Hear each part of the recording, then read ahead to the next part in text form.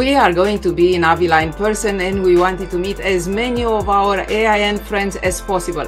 So we decided to explore whether it's possible to have a handheld hybrid session and create an experience of connection between Avila attendees and the wider AIN community. Yes. So join us on Saturday, July 30th from 3:45 to 4:45 Madrid time to go on an adventure with an online buddy if you're in, in Avila or if you're joining virtually.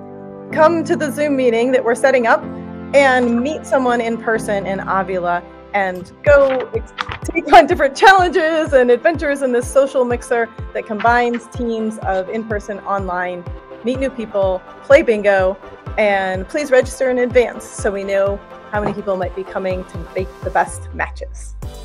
See you there.